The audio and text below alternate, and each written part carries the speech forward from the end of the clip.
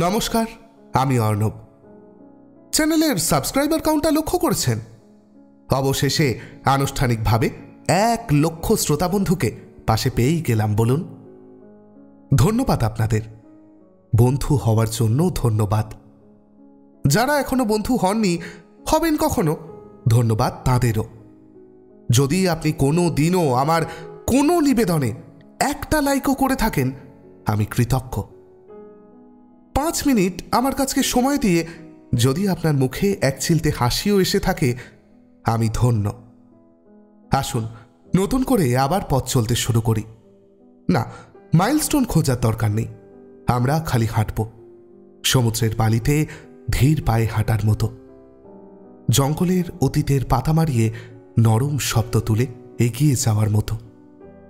শুধু সবাই একসঙ্গে থাকব। ব্যাস। আর হ্যাঁ আরেকটি অনুরোধ। যে ভালোবাসা আপনারা আমার ইউটিউব চ্যানেলটিকে দিয়েছেন, আমার স্পটিফাই পডকাস্টটিকেও তা থেকে বঞ্চিত করবেন না, প্লিজ। ফলো করে রাখুন ওকেও। গল্প শুনুন নিয়মিত। বা যখন ইচ্ছে। ও, আরেকটা বিষয়। একটা সারপ্রাইজ আসছে আপনাদের জন্য। খুব শিগগিরই কথা বলব সেই নিয়ে। আপনাদের একটা ইচ্ছা হয়তো পূরণ করতে পারব। তবে সেসব এখন থাক, আসুন। আমরা গল্প শুনি। আমার আজকের নিবেদনে রইল প্রভাত কুমার মুখোপাধ্যায়ের গল্প পুলিন বাবুর পুত্র লাভ।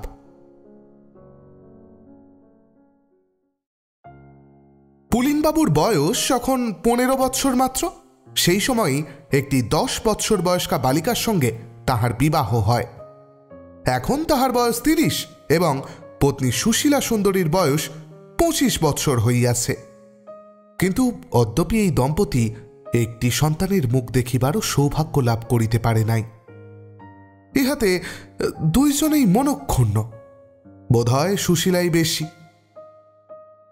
পুলিনবাবু পাড়াগাঁয়ের ক্ষুদ্র জমিদার, তবে পাড়াগাঁয়ে বাস করিলেও তিনি নিজে পাড়াগেয়ে নহেন, কারণ প্রথমত গ্রামটি কলিকাতা হইতে অধিক দূরে নহে, রেলে পাঁচ ছ ঘণ্টার পথ মাত্র দ্বিতীয়ত বিবাহের পর কলিকাতায় গিয়া তিনি কিছুদিন লেখাপড়া করিয়া সভ্য ভব্য হইবার সুযোগ পাইয়াছিলেন।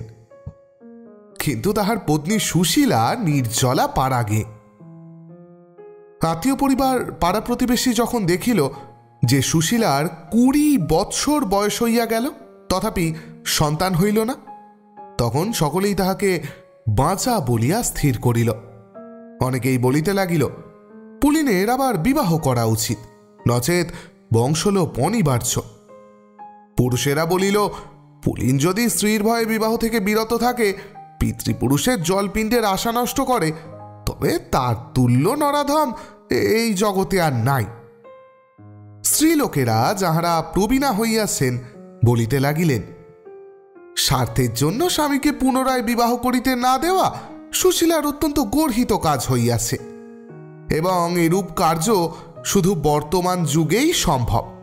তাহাদের আমলে এইরূপ কখনো ঘটিতে শোনা যায় নাই। তাহারা মাঝে মাঝে এই লইয়া সুশীলাকে মৃদু গঞ্জনা দিতেও ত্রুটি করিতেন না। এইরূপে উত্তক্ত হইয়া সুশীলা কিছুদিন হইতে স্বামীকে পুনরায় বিবাহ করিবার জন্য অনুরোধ করিতেছে, কিন্তু পুলিন সে কথা কানেই তুলেন না। সংসারে এখন সুশীলাই গৃহিণী। একটি বিধবা ননদ ও একটি বিধবা যা আছে, তাহারা সুশীলার বয়ক কনিষ্ঠ আজ গ্রামে একটি নিমন্ত্রণে গিয়া সুশীলা কয়েকজন গিন্নিবান্নি রমণীর তীক্ষ্ণ মন্তব্য শুনিয়া আসিয়া মনে মনে প্রতিজ্ঞা করিয়াছে, স্বামীকে পুনরায় বিবাহ করিতে রাজি করাইবে, নচেত নচেত গঙ্গায় ডুবিবে অথবা বিষ খাইবে, অথবা পিত্রালয়ে চলিয়া যাইবে। কি করিবে তাহা সে এখনও স্থির করিতে পারে নাই। রাত্রে আহারদির পর শয্যায় প্রবেশ করিয়া স্বামীর নিকট সুশীলা এই প্রসঙ্গ উত্থাপন করিল। পুলিন বলিল, ধুর পাগলি। সুশীলা বলিল, এটা আমার পাগলামি হলো কিসে? বিয়ে করলে যদি একটা ছেলের মুখ দেখতে পাও বা পিতামহ জলপিণ্ডি পান, সেটা কি তোমার করা উচিত নয়? পুলিন বলিল, দেখো সুশি, বিয়ে আমি একটা কেন? দশটা করতে পারি। কিন্তু জানো তো যেমন স্ত্রীলোক বাঁজা আছে, তেমনি পুরুষও বাঁজা আছে। আমিও যদি সেই রকম পুরুষ হই, তাহলে তো সেই স্ত্রীরও সন্তান হবে না। চিরদিনের জন্য মিছে কেবল তোমাকে সতীনের যন্ত্রণা দিয়ে যাব। সেটা কি ভালো হবে? সুশীলা গম্ভীরভাবে বলিল, কে বললে তোমার ছেলে হবে না? তাছাড়া, আমায় সতীনের যন্ত্রণা ভোগ করতে হবে, তারই বা কি মানে আছে? তুমি কি নতুন বউ এনে আমাকে আর খেতে দেবে না, নাকি পড়তে দেবে না? নাকি নাকি আমাকে বিষ নয়নে দেখবে? সেরকম লোক তুমি নও, তা আমি বিলক্ষণ জানি। পুলিন পাশ ফিরিয়া পাশের বালি সাঁকড়াইয়া ধরিয়া বলিল ও রাত বারোটা বাজে, এখন একটু ঘুমুতে দেবে, নাকি খালি গজর গজর করবে? সুশীলা চুপ করিয়া গেল। দুই দিন পরে বেলা নটার সময় পুলিন তাহার বৈঠকখানায় বসিয়া দু একজন প্রতিবেশীর সহিত আরামে ধূমপান এবং গল্পগুজবে মগ্ন আছে। এমন সময় অন্তঃপুর হইতে তাহার তলব আসিল। হোকাটি একজনের হাতে দিয়া বাড়ির মধ্যে প্রবেশ করিয়া সে দেখিল, নিম্নতলে ঢাকা বারান্দার উপর একখানি কুশাসন বিছাইয়া গ্রামের দৈবজ্ঞ ঠাকুর পাঁজি পুঁথি লইয়া বসিয়া আছেন। সুশীলা কক্ষ মধ্যে দ্বার দেশে দাঁড়াইয়া। পুলিন বারান্দায় উঠিয়া বলিল হ্যাঁ ঠাকুর মশাই যে, প্রণাম হই। কতক্ষণ আসা হয়েছে? বলিয়া তার পানে চাহিয়া অন্যের অলক্ষিতে একটু হাসিল। দৈবজ্ঞ ঠাকুর হস্ত সংকেতে আশীর্বাদ করিয়া গম্ভীরভাবে উত্তর দিলেন, বেশিক্ষণ নয়, এই ঘণ্টা খানেক হলো এসেছি বাবা। মা লক্ষ্মী কালই আমাকে ডেকে পাঠিয়েছিলেন। তা কাল সময় পাইনি, তাই আজ এসেছি। পুলিন ভিতরে প্রবেশ করিয়া জিজ্ঞাসা করিল, তলব কেন গিন্নি? দৈবজ্ঞ ঠাকুরই বা আনিয়েছ কেন? নিজের একটা সতীন টতিন ঠিক করেছ নাকি? ঠিক উজি কুষ্টি মেলাবে? হ্যাঁ তাই মেলাবো। তুমি এখন হাত পা ধুয়ে একটু গঙ্গা জল মাথায় দিয়ে ওই ওই ওই তসরের কাপড়খানা পরো দেখি। পুলিন বলিল, সুবোধ ও সুশীল স্বামী সর্বদা স্ত্রীর আঁচল ধরিয়া বেড়ায় এবং কখনো তাহার অবাধ্য হয় না। সে যা পায় তাই খায়, গালিগালাজ, সম্মার্জনী, কিছুতেই আপত্তি করে না। তা আমি তসরের কাপড় পরে কি করব? সুশীলা বলিল, দৈবজ্ঞ ঠাকুর তোমার হাত দেখিবেন। পুলিন বলিল, হাত দেখবেন? কি সর্বনাশ! কই আমি তো নিজের কোনো অসুখ বিসুখ বুঝতে পারছি নে। খিদে পেট জ্বলে যাচ্ছে, দোহাই তোমার, আমার ভাতটি বন্ধ করো না। সুশীলা বলিল যাও যাও, বুড়ো বয়সে আর ঢং দেখে বাঁচিলে। সে হাত দেখা নয়, হাত দেখে উনি অদৃষ্টের ফলাফল বলে দেবেন। ফুলিন শুনিয়া হাসিল, বলিল, তুমি তো জানো সুশী ওসবে আমার বিশ্বাস ফিশ্বাস নেই। মিছে কেন আমায় কর্মভোগ করাবে? সুশীলা বলিল, তোমার বিশ্বাস নেই, কিন্তু আমার আছে। আমি যা বলি তাই করো। স্ত্রীর পীড়াপিড়িতে অবশেষে পুলিনকে বাধ্য হইয়া তসর পড়িয়া মাথায় গঙ্গা জলের ছিটা দিয়া দৈবজ্ঞ ঠাকুরের সম্মুখে গিয়া বসিতে হইল। ঠাকুর মহাশয় বলিলেন, দাও দেখি বাবা ডান হাতখানা দাও। পুলিন হাত বাড়াইয়া দিল। সেখানে লইয়া ঠাকুর মহাশয় বলিলেন, যদিও বৌমা তোমার পুত্রলাভটা জানবার জন্যই বিশেষ ব্যস্ত হয়েছেন, তথাপি পরমায়ুটাই আগে পরীক্ষা করতে হয়। বাহ! এই যে বুড়ো আঙুলে ধনু রেখা রয়েছে। বাবা, এতে করে তোমার রাজোচিত ঐশ্বর্য আর আশি বছরের পরমায়ু সূচিত হচ্ছে। আচ্ছা এইবার তাহলে পুত্র ভাগ্যটা দেখি। বলিয়া তিনি পুলিনের পানিপার্শ্ব অত্যন্ত মনোযোগের সহিত দেখিতে লাগিলেন। তারপর হাতখানি ছাড়িয়া দিয়া সুশীলার পানে চাহিয়া বলিলেন একটি পুত্র সন্তান তোমার স্বামীর অদৃষ্টে তো রয়েছে দেখছি, মা। সুশীলা ঘোমটার ভিতর হইতে জিজ্ঞাসা করিল, বিবাহ কটি? দৈবজ্ঞ ঠাকুর আরও কিছুক্ষণ হস্তরেখা পরীক্ষা করিয়া বলিলেন বিবাহ তো একটি দেখছি। আচ্ছা এসো তো, মা, তোমার হাতখানা আর একবার দেখি। সুশীলা আসিয়া নিজ বাম হস্তখানি প্রসারিত করিয়া দিল। দৈবজ্ঞ ঠাকুর সেখানে লইয়া পরীক্ষা করিয়া বলিলেন, না, আমার ভুল হয়নি। তুমি তোমার স্বামীর সন্তানের জননী হবে মা, এ বিষয়ে কোনো সংশয় নেই। অতঃপর দৈবজ্ঞ ঠাকুর দক্ষিণান্ত হইয়া প্রস্থান করিলেন। পুলিন তসৎ ছাড়িয়া নিজ সাবেক বস্ত্র পরিধান করিতেছিল। সুশীলা তাহার কাছে গিয়া বলিল, বলি হ্যাঁ গা, দৈবজ্ঞ ঠাকুরকে কত টাকা ঘুষ খাইয়েছ? পুলিন বলিল, ঘুষ?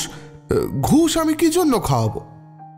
নইলে আমার পঁচিশ বছর বয়স হলো, এখনও আমি সন্তানের জননী হব বলে গেল কেন? পুলিন বলিল, বাহ, সে আমি কি জানি? আমি তো তোমায় সাপ বলেছি, আমি ওসব বুজরুকিতে বিশ্বাস করি নে তুমি নিজেই বলো, যে তোমার বিশ্বাস হয়। এখন তুমি জানো আর তোমার ওই দৈবজ্ঞ ঠাকুরই জানে, আমি কি জানি? বলিয়া পুলিন বাহির হইয়া গেল। সুশীলা বসিয়া কিয়ৎক্ষণ ভাবিল, তারপর ডাকিল গেনির মা? ঝি গেনির মা আসিয়া বলিল, কেন গিন্নিমা তুই কাল দেবজ্ঞ ঠাকুরকে ডাকতে গিয়েছিলি, কর্তা কি তা জানতে পেরেছেন? গেনির মা বিস্মিত হইয়া বলিল, কর্তা জানতে পেরেছেন, তা কেমন করে বলব মা? ও হ্যাঁ মনে পড়েছে। ঠিক তো, কাল যখন আমি দৈবজ্ঞ ঠাকুরের বাড়ি থেকে বেরিয়ে রাস্তায় উঠেছি, সামনেই দেখি কর্তা মশাই নাটি হাতে করে কোথা থেকে বেরিয়ে আসছেন। আমায় দেখে জিজ্ঞেস করলেন, কি গেনির মা, এখানে কি করতে এসেছিলি?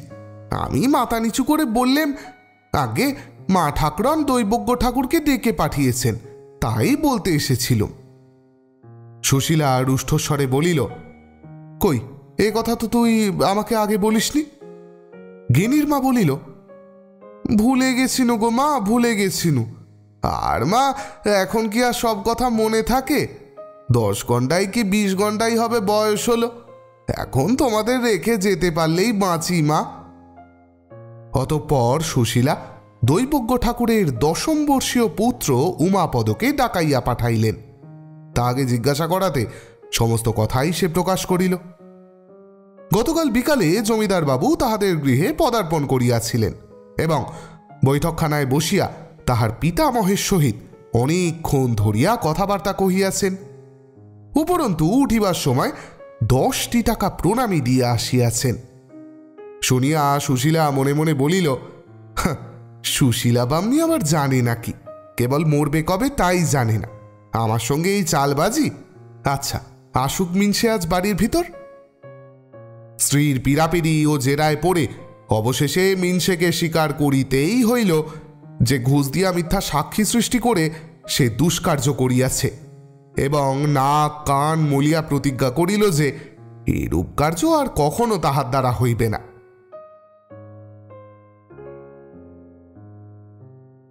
আষাঢ় মাস, আকাশ ঘন ঘটায় সমাচ্ছন্ন।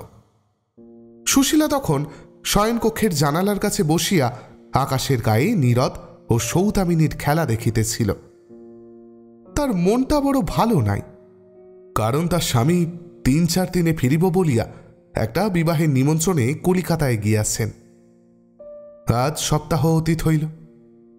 আজও তিনি ফিরিলেন না বা কোনো সংবাদও পাঠাইলেন না। এমন সময় গেনির মা আসিয়া প্রবেশ করিল। সে ধীরে ধীরে প্রভুপত্নীর নিকট অগ্রসর হইয়া বলিল মা, একটা খপর শুনে এলাম এক্ষুনি। সুশীলা তাহার পানি চাহিয়া জিজ্ঞাসা করিল, কি খবর গেনির মা? কর্তা নাকি শুনলাম কলকাতায় গিয়ে একটা বিয়ে করেছেন। বিয়ে করেছেন? তো কে বলল তোকে? স্বপ্ন দেখিস নাকি? না মা, স্বপ্ন দেখব কেন? ঘোষেদের ঝি পেশন্য সেই বললে। কি কি বললে? ঘোষ শ্যামশাই তো মাসখানেক বাড়ি ছিল না কি না? হাইকোর্টে তেনার শালার কি মোকদ্দমা চলছিল? তাই সেখানে গিয়েছিল। কাল বিকেলে ফিরে এসেছে। এসে ঘোষ গিন্নির কাছে বলা বলি করছিল। তাই পেশন্য বাইরে থেকে শুনেছে। সুশীলা রুদ্ধশ্বাসে জিজ্ঞাসা করিল, আর কি পেশন্য বললে গেনির মা গেনির মা বললে, আর কি কি বললে?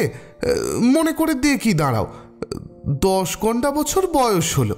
কোনো কথা কি মনে রাখতে পারি চাই হ্যাঁ হ্যাঁ আর বললে যে, বউ নাকি বেশ ডাগর সাগর, যেমন রূপ তেমনি নেকা পড়া যান শুনিয়া সুশীলার মাথার ভিতরটা ছিমছিম করিতে লাগিল। তাহার চোখ দিয়া প্রায় জল বাহির হইবার উপক্রম করিল।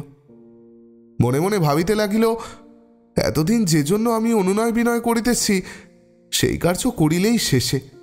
তবে ওরূপভাবে আমাকে আমাকে লুকাইয়া করিবার কি দরকার ছিল? কলিকাতা যাওয়ার সময় সকল কথা খুলিয়া বলিলেই তো হইত। এমনভাবে আমাকে অপমান করিলে কেন? আহারদি শেষ হইলে সুশীলা ঘোষ গৃহিণীর সহিত সাক্ষাৎ করিবার উদ্দেশ্যে বাহির হইল। শ্রীযুক্ত সুরেন্দ্রনাথ ঘোষ, এই গ্রামের আরেকজন ক্ষুদ্র জমিদার, পুলিন উহাকে দাদা সম্বোধন করিয়া থাকে। খিড়কি দরজা দিয়া বাহির হইয়া বাগানে বাগানে সেই বাড়িতে যাওয়া যায়। সুশীলা অন্তঃপুরে প্রবেশ করিয়া দেখিল ঘোষ গৃহিণী আহার আনতে, পান খাইতে খাইতে তাহার চন্দনা পাখিকে পড়াইতেছেন। সুশীলাকে দেখিয়া তিনি ব্যস্ত সমস্ত হইয়া তাহাকে অভ্যর্থনা করিলেন এবং পরম সমাদরে ঘরের ভিতর লইয়া গিয়া বসাইলেন। কিয়ৎক্ষণ সাধারণভাবে কথাবার্তার পর সেখানে আর কেহ নাই দেখিয়া সুশীলা জিজ্ঞাসা করিল, শুনলাম বটঠাকুর কলকাতা থেকে ফিরেছেন? আমাদেরও আজ এক সপ্তাহ হলো কলকাতায় গেছে। তিন চার দিনে ফেরবার কথা তা আজও ফিরল না। আমি তো তাই ভেবে মরছি, দিদি। ঘোষ গৃহিণী বলিলেন, না না, কিচ্ছু ভাবনা নেই। ঠাকুরপো ভালোই আছেন। ওর সঙ্গে দেখা হয়েছিল যে? দেখা হয়েছিল? যা হোক ভালো আছেন শুনে তবু নিশ্চিন্ত হলাম। ওর সঙ্গে কবে দেখা হলো, দিদি? তা কিছু বললেন বট ঠাকুর? হ্যাঁ হ্যাঁ বললে। পরশু বুঝি। কোথায় নিমন্ত্রণ ছিল? সেইখানেই দুজনে দেখা হলো। নিমন্ত্রণ ছিল? কিসের নিমন্ত্রণ ভাই? ঘোষগৃহিণী অন্যদিকে মুখ ফিরাইয়া বলিলেন, কে জানে, বিয়ের না কিসের? কবে আসবে তা কিছু শুনলে? হ্যাঁ বললেন, তার আসতে এখনও হপ্তাখানেক দেরি আছে।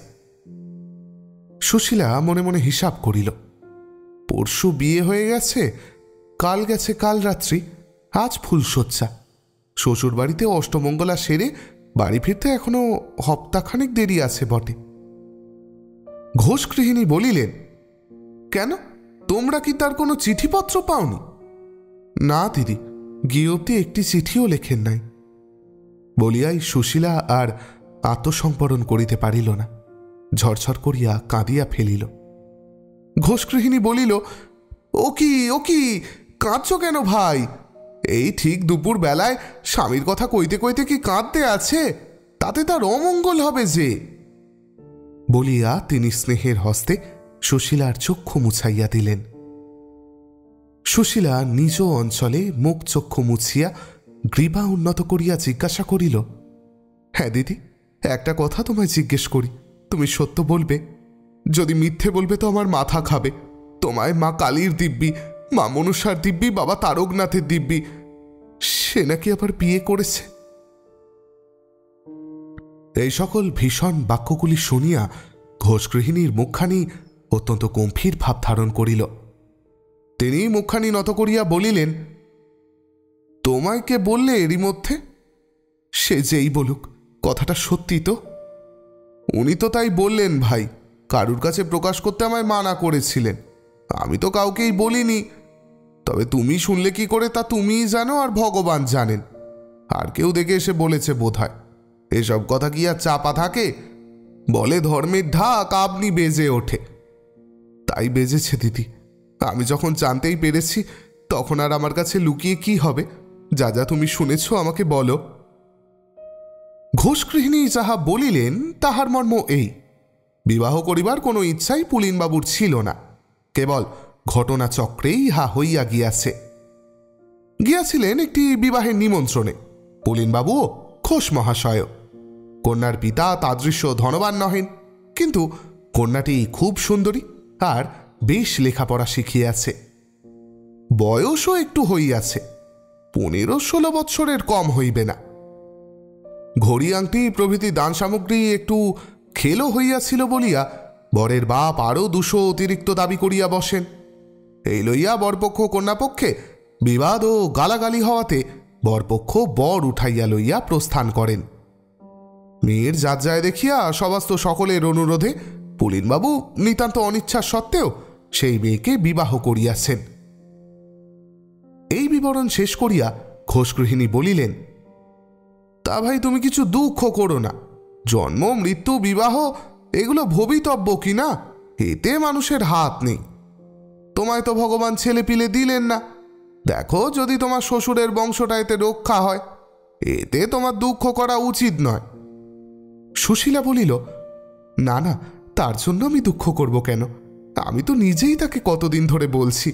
ওগো, বিয়ে করো বিয়ে করো। তবু সে করলে না, ঘটনাচক্র এবার হয়ে গেল। বাড়ি ফিরিয়া সুশীলা মনে মনে ভাবিতে লাগিল, নিতান্ত অনিচ্ছার সত্ত্বে, তাই কি ঠিক? অত বড় কলিকাতা শহরে সে ছাড়া আর কি কোনো পাত্র পাওয়া গেল না? বাড়ি ছাড়িবার ঠিক তেরো দিন পরে পুলিন ফিরিয়া আসিল। তাহার অঙ্গে একটি নূতন সিল্কের পাঞ্জাবি পরিধানে জরিপার ধুতি স্কন্ধে জরিপার উড়ানি, পায়ে নূতন একজোড়া পামসু এবং হাতের কবজিতে নূতন সোনার খড়ি। এতৎ ভিন্ন তাহার হাতে একটি নূতন চামড়ার ব্যাগও ছিল। সুশীলা তাহার স্বামীর এইরূপ শৌখিন বেশভূষা পূর্বে কখনো দেখে নাই। অনুমান করিল, এগুলি হয়তো নূতন শ্বশুর বাড়ি হইতে প্রাপ্ত, অথবা উক্ত মধুপুরীতে গমন উপলক্ষে কৃত।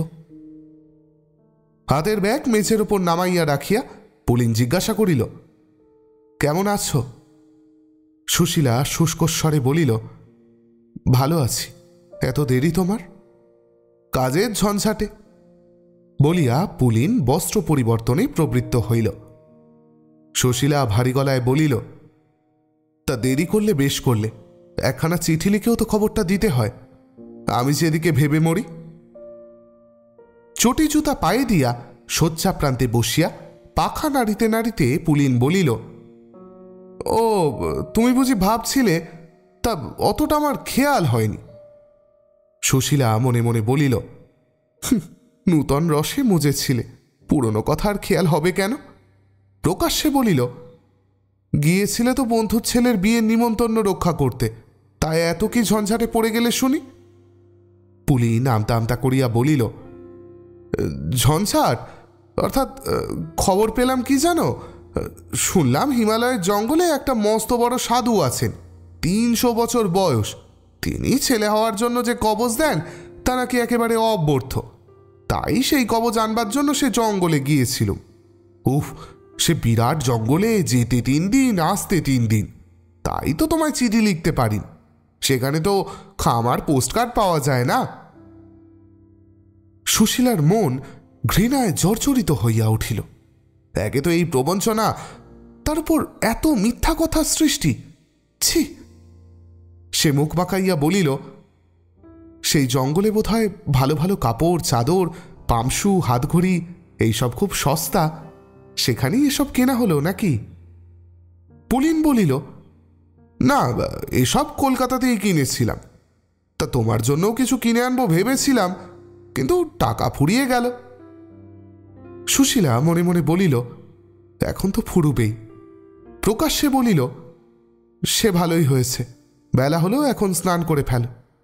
হ্যাঁ স্নান করে দুটি খেয়ে শুয়ে পড়ি। গাড়িতে রাত্রে ঘুম হয়নি।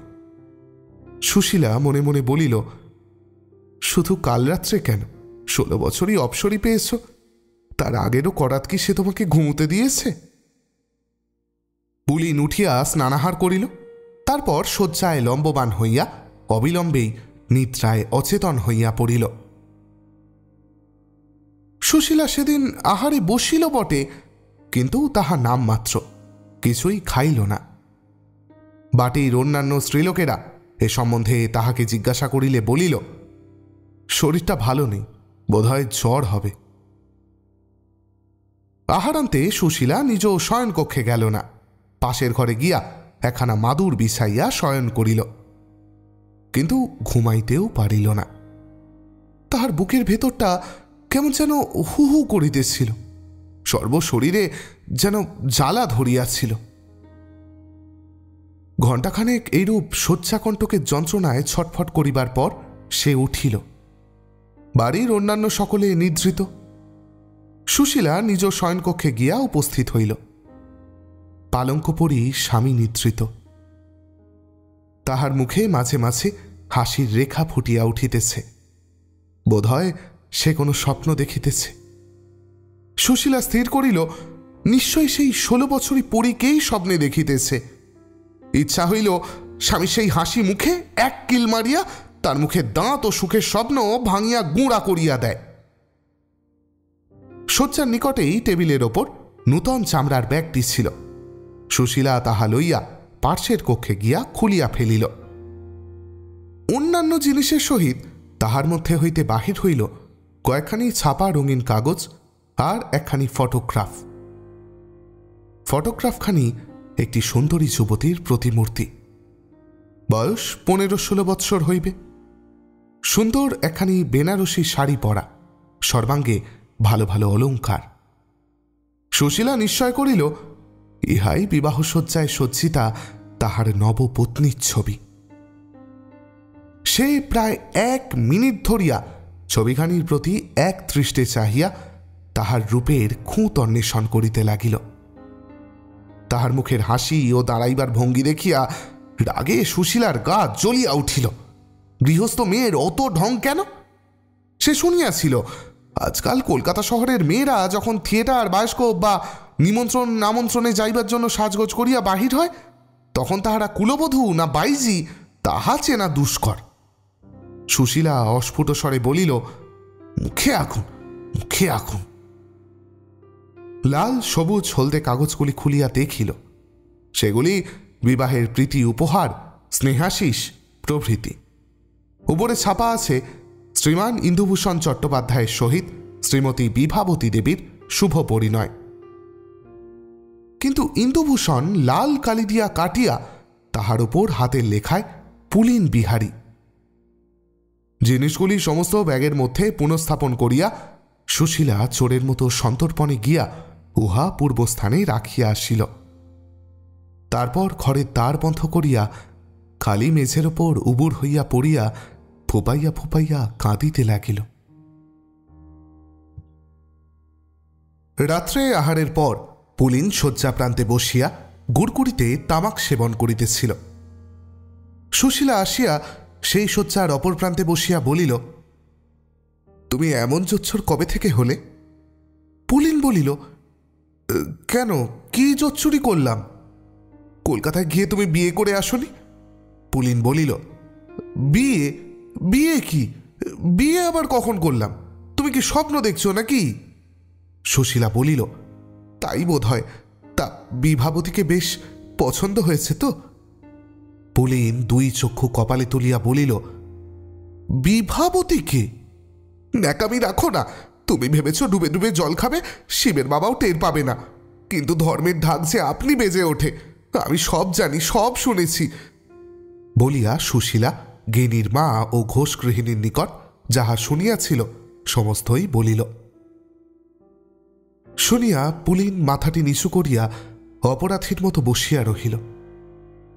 অবশেষে একটা দীর্ঘ নিঃশ্বাস ফেলিয়া বলিল, এই জন্যেই বলে, যার জন্য চুরি করি সেই বলে চোর। তোমারই অনুরোধে কাজ করা, আর তুমি আমায় দুঃস্ব সুশীলা ঝঙ্কার দিয়া উঠিল, আমার অনুরোধেই যদি করা, তো আমার কাছে এত লুকোচুরি কি জন্য? সেটাও তোমার ভালো ভেবেই করেছিলাম সুশীলা। ভেবেছিলাম এখন তোমায় কিছু বলব না। সে বউ সেইখানেই থাকবে। তারপর একটি ছেলে হলে তখন সব তোমায় ভেঙে বলব। হাজার হোক, তুমি স্ত্রীলোক বই তো নাও। সতীন হয়েছে শুনলে পাছে এখন তুমি দুঃখ পাও। সেই ভেবেই গোপন করেছিলাম আর কি। বলিয়া পুলিন অন্যদিকে মুখ ফিরাইয়া আবার তামাক টানিতে মন দিল। কিছুক্ষণ পরে পত্নীর দিকে চাহিয়া দেখিল। সে তখনও কাঠের পুতুলের মতোই সেই একইভাবে বসিয়ে আছে। বলিল, রাত হল শো এখনও বসে কেন? সুশীলা কহিল, তুমি শো আমার জন্য তোমায় ভাবতে হবে না। পুলিন বলিল, দিনের বেলা ঘুমিয়েছি, এখনও আমার ঘুম পায়নি। তামাকটা খেয়ে নিয়ে তারপর একখানা চিঠি শেষ করে শোবো এখন। তুমি ততক্ষণ শোও না। সুশীলা বলিল হো চিঠি লিখতে হবে। তা আমি এ ঘরে উপস্থিত থাকলে লেখার অসুবিধে হবে নাকি? বেশ প্রাণ খুলে প্রাণের কথা লিখতে পারবে না, তাই তো? সে দরকার নেই। আমি ও ঘরে গিয়ে শুচ্ছি, তুমি নিশ্চিন্ত হয়ে বসে তোমার প্রেমপত্র লেখো। বলিয়া সুশীলা নামিয়া সজোর পদক্ষেপে কক্ষ হইতে বাহির হইয়া গেল এবং পার্শ্ববর্তী কক্ষে প্রবেশ করিয়া সশব্দে খিল বন্ধ করিয়া দিল স্বামী স্ত্রীতে কথাবার্তা আর বড় নাই। মুখ দেখা দেখিও একরকম বন্ধ বলিলেই চলে। এইভাবে এক সপ্তাহ কাটিল। সুশীলাদের শয়নকক্ষ ছিল ত্রিতলে। অন্যান্য সকলে দ্বিতলে বা নিচের ঘরে শয়ন করিত। সুতরাং এই দম্পতির এরূপ মর্মান্তিক বিচ্ছেদের সংবাদ কেহ জানিতে পারিল না। প্রতিদিন দ্বীপ্রহরে আহারের পর পলিন ঘণ্টা দুই আড়াই দিবানিদ্রা উপভোগ করিত। সুশীলা মাঝে মাঝে এটা ওটা লইবার বা রাখিবার জন্য সে ঘরে প্রবেশ করিত এবং কাজ সারিয়াই চলিয়া যাইত। আজ দ্বীপ্রহরে এইরূপে স্বামীর শয়নকক্ষে প্রবেশ করিয়া দ্বার হইতে সে দেখিল, স্বামী নিদ্রিত। কিন্তু তাহার বুকের ওপর কি একটা জিনিস রহিয়াছে। আস্তে আস্তে শয্যার নিকট গিয়া দেখিল, উহা একখানা কালো মোটা পেস্ট বোর্ড তাহাতে ইংরেজিতে কি সব ছাপা রহিয়াছে? সুশীলা অতি সন্তর্পণে সেখানি স্বামীর বুক হইতে উঠাইয়া লইয়া দেখিল, তাহার অপর দিকটায় সেই সুন্দরী ষোলো বছরের ফটোগ্রাফ।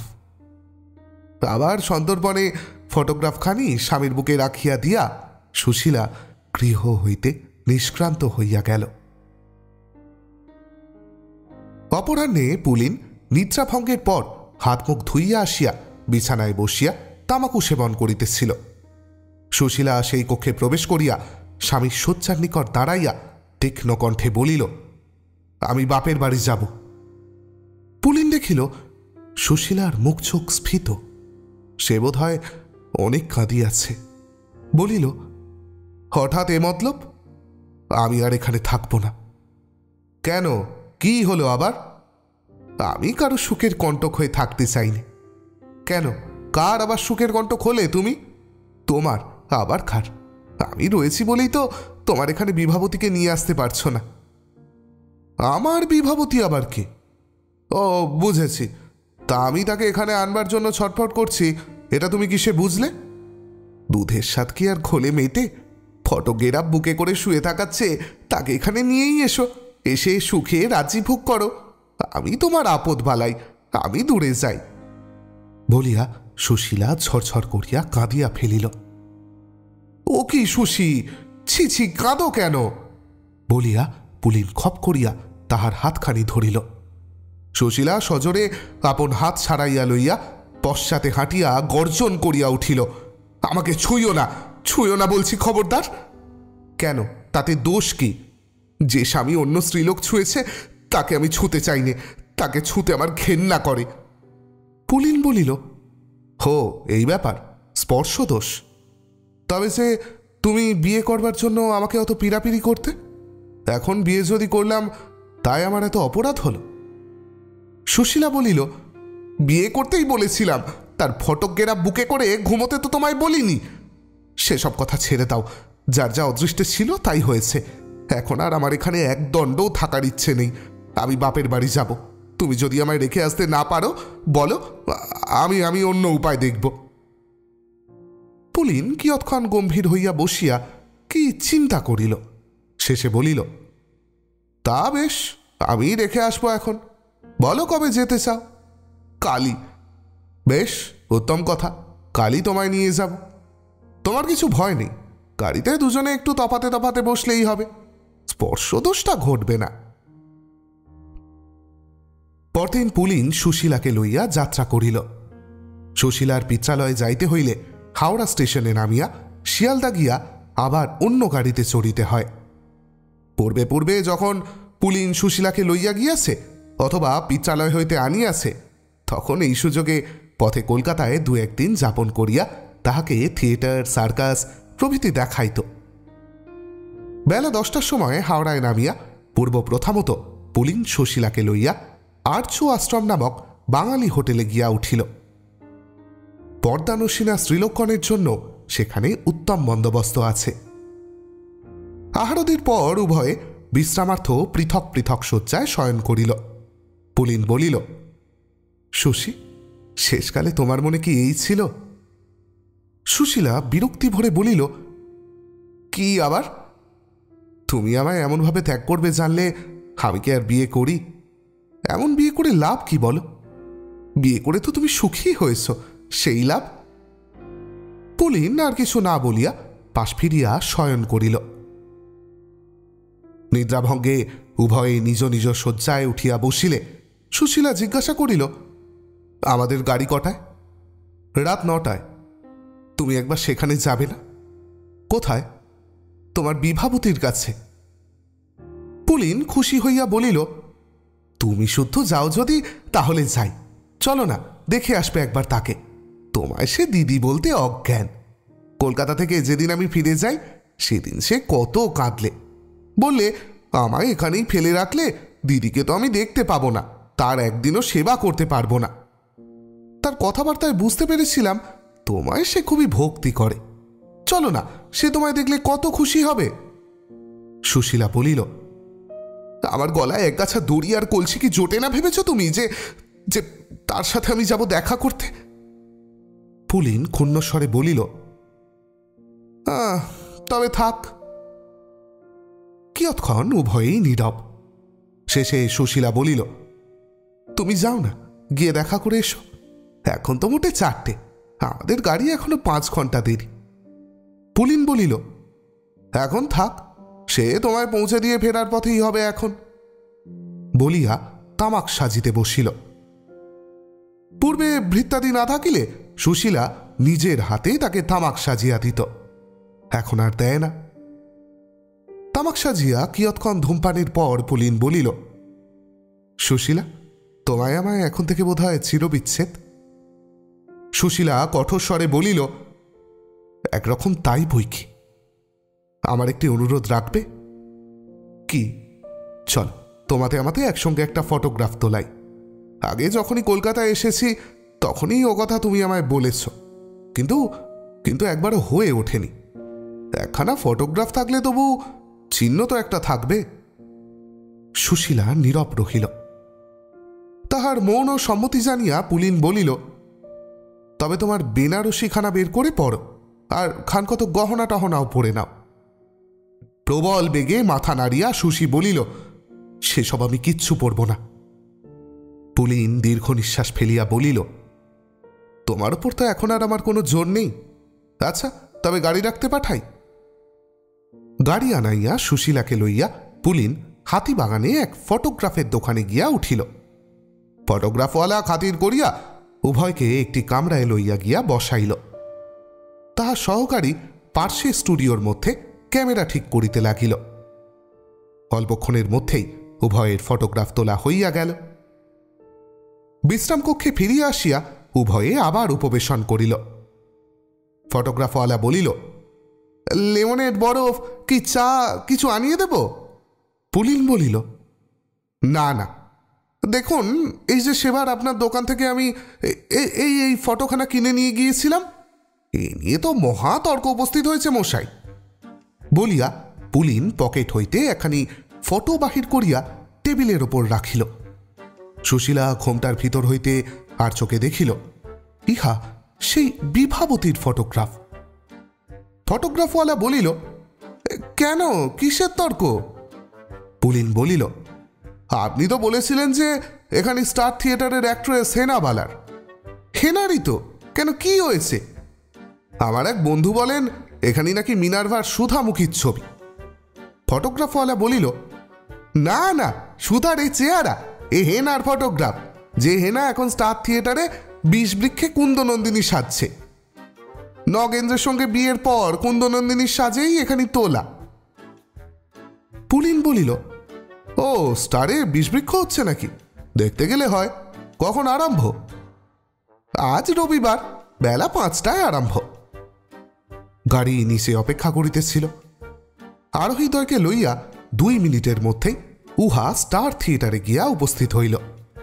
পুলিন নামিয়া সুশীলাকে টিকিট কিনিয়া দিয়া তার হাতে ফটোখানি দিয়া বলিল, চেহারাটা মিলিয়ে দেখো তো, যে কুন্দনন্দিনী সাজবে, তার সঙ্গে মেলে কিনা বলিয়া সুশীলাকে ঝির জিম্মা করিয়া দিয়া সে অন্তর্হিত হইল। রাত্রি সাড়ে দশটার সময় থিয়েটার ভাঙিল। গাড়িতে স্বামী স্ত্রীতে বেশি কিছু কথাবার্তা হইল না। বাসায় ফিরিয়া উভয়ে বস্ত্রাদি পরিবর্তন করিল। তারপরে পুলিন তামাক সাজিতে বসিল। সুশীলা বলিল হ্যাঁ গা, এই ফটোখানা তো সেই যে কুন্দনন্দিনী সেজেছিল, তারই বটে। তুমি ওখানে কিনেছিলে কেন? পুলিন গম্ভীরভাবে বলল, তোমায় জব্দ করার জন্য। কি জব্দ? যাতে তুমি মনে করো আমি আবার বিয়ে করেছি। আর এই আমার নতুন স্ত্রী। কেন? তুমি বিয়ে করনি? ভালাই ষাট, আমি কেন বিয়ে করব? আমার শত্রু যে, সে তুই বিয়ে করুক। তবে কেন নিজের মুখে তুমি স্বীকার করেছিলে যে বিয়ে করেছ? তোমায় জ্বালাবার জন্য। সুশীলা বলিল, উফ, কি ধাপ্পাবাজ তুমি। আচ্ছা সেই যেন হলো। তুমি তুমি ওই হেনা ফেনার ছবি বুকে করে বাড়িতে কাল দুপুরবেলা ঘুমোচ্ছিলে কেন? ঘুমোইনি, জেগেই ছিলাম। তুমি আসছো, পায়ের শব্দ পেয়েই ওখানে বুকে করে চোখ বুঝে ঘুমের ভান করে পড়েছিলাম। আমাকে জ্বালাতনের জন্যই তো ভণ্ড মিনসে। আচ্ছা আচ্ছা সেই যেন বুঝলাম। তোমার ব্যাগের মধ্যে সেই সব প্রীতি উপহারে যে বিভাবতীর নাম ছাপা ছিল, সে তবে কে? ওই যে যে মেয়ের বিয়েতে নেমন্তন্ন খেতে কলকাতায় এসেছিলাম, সেই। কার সঙ্গে তার বিয়ে হলো? নাম তো মনে নেই। যার সঙ্গে বিয়ে হওয়ার কথা ছিল, তারই সঙ্গে হলো কি? তারই সঙ্গে। তবে কেন ও বাড়ির বর ঠাকুর বলেছিলেন যে যে সে বিয়ে ভেঙে গিয়েছিল, তারা বর তুলে নিয়ে চলে গিয়েছিল? তাকে ওই কথাই বলতে আমি শিখিয়ে দিয়েছিলাম। বলেছিলাম যে, এমনভাবে বৌদির কাছে গল্পটা করবে যাতে আরও দু একজন মানুষ শুনতে পায়। সুশীলা বলিল, এত দুষ্টামিও তোমার পেটে? জোচ্চোর মিনসে। আচ্ছা বিয়ের পদ্মে তবে সে বরের ছাপা নাম কেটে তোমার নাম হাতের লেখায় বসানো ছিল কেন? পুলিন বলল ওটা ওই মজাটুকু করবার জন্য। তবে সেটা জাল, বলো? একরকম তাই বই কি? পুলিন তামাক সাজিয়ে আনিয়া টানিতে আরম্ভ করিল, বলিল, আমি তাহলে এক নম্বরের ধাপ্পাবাজ, দু নম্বর ভণ্ড, তিন নম্বর জোচ্চর আর চার নম্বর জালিয়াত। আর কিছু আছে? সুশীলা বলিল, তোমার মতো নিষ্ঠুর কি আর ভূভারতে আছে? এই আট দশ দিন কি কষ্টটাই না তুমি আমায় ভোগ করালে বলো দেখি? পুরুষ মানুষ। তুমি কি জানবে স্বামীর ভালোবাসা হারালে স্ত্রীলোকের কি বুক ফাটা কষ্ট হয়? বলিয়া সুশীলা চোখে আঁচল দিয়া ফুপাইয়া ফুপাইয়া কাঁদিতে লাগিল। পুলিন হুকা ফেলিয়া স্ত্রীর নিকট গিয়া তার হাতটি ধরিয়া বলিল, ছি ছি, সুশী, কেঁদো না, চুপ করো। এবার সুশীলা হাত ছাড়াইয়া লইল না, স্পর্শদোষ সহ্য করিল। একটু পরেই হোটেলের ঠাকুর দুই থালায় লুচি তরকারি প্রভৃতি দিয়া গেল। সুশীলা সেই সমস্ত গুছাইয়া স্বামীকে খাইতে বসাইল। পুলিন খাইতে লাগিল। সুশীলা জিজ্ঞাসা করিল আচ্ছা তবে তোমার সেবার কলকাতায় অতদিন দেরি হলো কেন? ওই যে বললাম কব জানতে গিয়েছিলাম। তবে হিমালয়ের জঙ্গলে নয়, বাংলাদেশেরই এক পল্লী গ্রামে। এই কথাটা সত্য? কেন? কবজ তো তুমি নিজের চোখে দেখেছ। তুমি পড়লে না তো আমি কি করব? কাল চলো কালীঘাটে গিয়ে গঙ্গা স্নান করে মাকে দর্শন করে দুজনে কবজ দুটি ধারণ করি। তাহাই হইল। এই যাত্রায় সুশীলার পিত্রালয়ে যাওয়া ঘটিল না। অসম্ভব সম্ভব হয়। বৎসর না ঘড়িতেই কবচ ধারণের সুফল ফলিল। এই দম্পতি পুত্র লাভ করিল।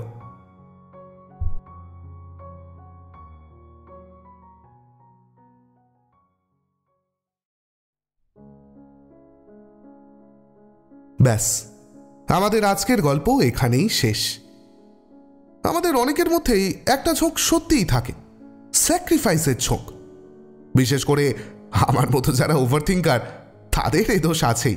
তারা প্রয়োজন হলে এই মহাজগতের বাইরে থেকেও একটা ত্রুটি খুঁজে বের করে শটান নিজের ঘাড়ে বসিয়ে দিয়ে নিজেকে মহাপাপী আর সামনের মানুষটাকে বেচারা ভিকটিম ভেবে ফেলি। তারপর তার কাল্পনিক ভিক্তিমত্ব ঘোচাতে গিয়ে যে তাকে সত্যি সত্যি মহা অশান্তির গাড্ডায় ফেলে দিই, সেটাই শুধু আর আমাদের জানা হয় না। সেই গাড্ডায় পড়া মানুষগুলোর জন্য প্রার্থনা করি, আপনাদের জন্য ওভারথিঙ্ক করা লোকজনের সুমতি হোক। আপনারা গাড্ডা থেকে ধুলো ঝেড়ে তাড়াতাড়ি উঠে আসুন। আচ্ছা এইবার টাটা আজকের মতো। খুব শিগগিরই আবার দেখা হবে। ততদিন ভালো থাকবেন, ভালো রাখবেন।